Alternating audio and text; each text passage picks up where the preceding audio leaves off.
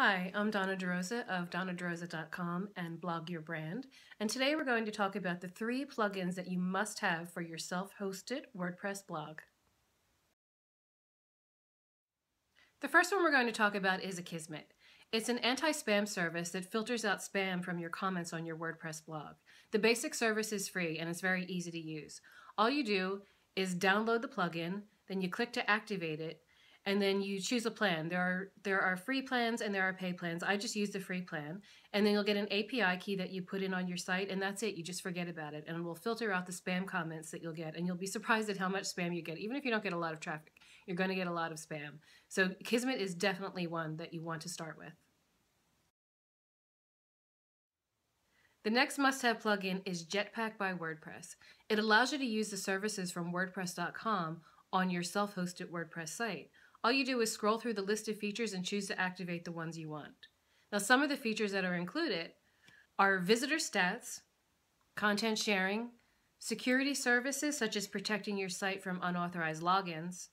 You can optimize and speed up your images. You can put related posts on your site. There's spelling and grammar checks and more. And there are some fun features like having snow falling on your website during the holidays. So you definitely want to activate Jetpack by WordPress. The third must-have plugin is Yoast SEO. It will help you create content for your site that is better able to rank highly in the search engines.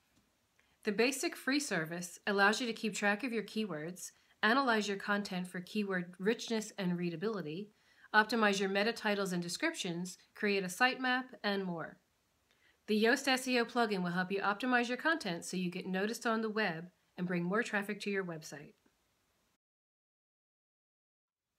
One last note about plugins. You don't want to have too many plugins on your site. It's tempted to get carried away and load all kinds of features on your site, but it can really slow your site down. You also want to download plugins from reputable companies that will maintain their security updates. It's the easiest way for hackers to attack your site. So only download the plugins that you really need on your site. Thank you for watching. Please subscribe, give me a thumbs up, and share this video with your friends.